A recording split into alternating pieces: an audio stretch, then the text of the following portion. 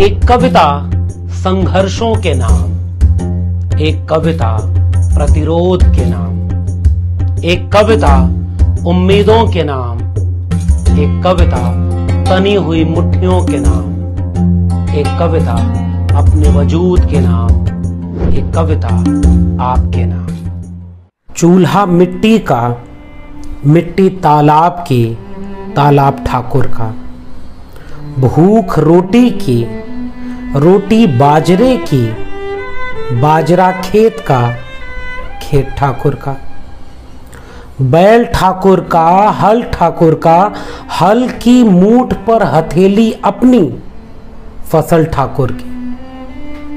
कुआँ ठाकुर का, पानी ठाकुर का, खेत खलिहान ठाकुर के, गली मोहल्ले ठाकुर के।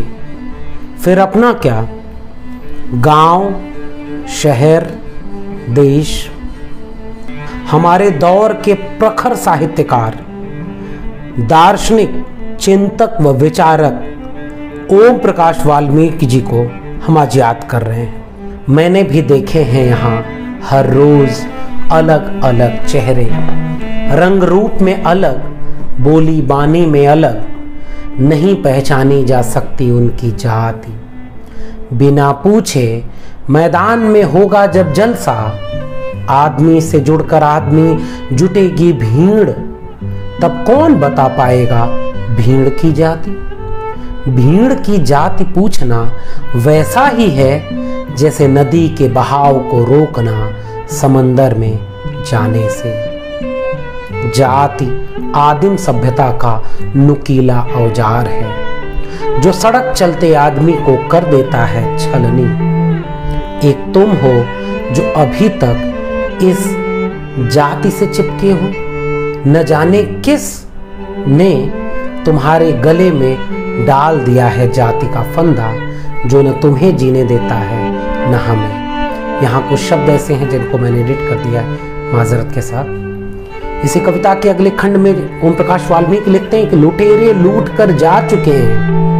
कुछ लूटने की तैयारी में है। मैं पूछता हूँ, क्या उनकी जाति तुमसे ऊँची है? ऐसी ज़िंदगी किस काम की, जो सिर्फ़ घृणा पर टिकी हो? कायरपन की हद तक पत्थर बरसाए कमज़ोर पड़ोसी की छत पर। ओम प्रकाश वाल्मीकि अपनी एक प्रसिद्ध कविता बस बहुत हो चुका में लिखते हैं, जब भी देखता हूँ मैं झाड़ू या गंदगी से भरी बाल्टी कनस्तर किसी हाथ में मेरे रगों में दहकने लगते हैं, यातनाओं के कई हज़ार वर्ष एक साथ। जो फैले हैं इस धरती पर ठंडे रेत कड़ों की तरह, वे तमाम वर्ष वृत्ताकार होकर घूमते हैं, करते हैं छलनी लगातार, उंगलियों और हथेलियों को नस नस में समा जाता है ठंडा ताप झाड़ू थामे हाथों की सरसराहट, साफ़ सुनाई पड़ती है भीड़ के बीच। बियाबान जंगल में सनसनाती हवा की तरह। गहरी पथरीली नदी में असंख्य मुख पीड़ाएँ कसमसा रहे हैं। मुखर होने के लिए रोष से भरी हुई बस बहुत हो चुका, चुप रहना। निरर्थक पड़े पत्थर, अब काम आएँगे संतप्त जनों के। और उनकी प्रसिद्ध कविता, सदियों का संताप दोस्तों, बिता दिए हमने हज़ारों वर्ष। बिता दिए हमने हज़ारों वर्ष इस इंतज़ार में कि भयानक त्रासदी का युग अदबनी इमारत के मलबे में दबा दिया जाएगा किसी दिन जहरीले पंजों समेत। फिर हम सब एक जगह खड़े होकर हथेलियों पर उतार सकेंगे एक एक सूर्य। फिर हम सब एक जगह खड़े होकर हथेलियों पर उतार सकेंगे। एक एक सूर्य जो हमारी रक्त शिराओं में हज़ारों परमाणु क्षमताओं की ऊर्जा समाहित करके धरती को अभिशाप से मुक्त कराएगा। इसीलिए हमने अपनी समूची घृणा को पारदर्शी पत्तों में लपेटकर, ठूठे वृक्ष की नंगी टहनियों पर टांग दिया है।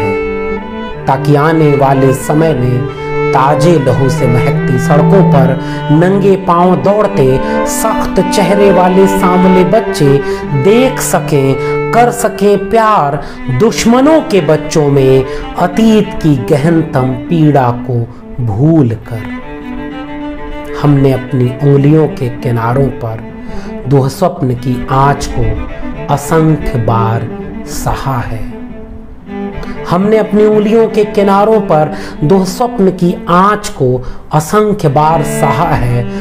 ताज़ा चुभी फांस की तरह और अपने ही घरों में संकीर्ण पतली गलियों में कुनमुनाती गंदगी से टखनों तक सने पाँव में सुना है दहाड़ती आवाजों को किसी चीख की मानिंद जो हमारे हृदय से मस्तिष्क का, का सफ़र तय करने में थक कर सो गई हैं। दोस्तों इस चीख को जगा कर पूछो कि अभी और कितने दिन इसी तरह गुमसुम रहकर सदियों का संताप सहना।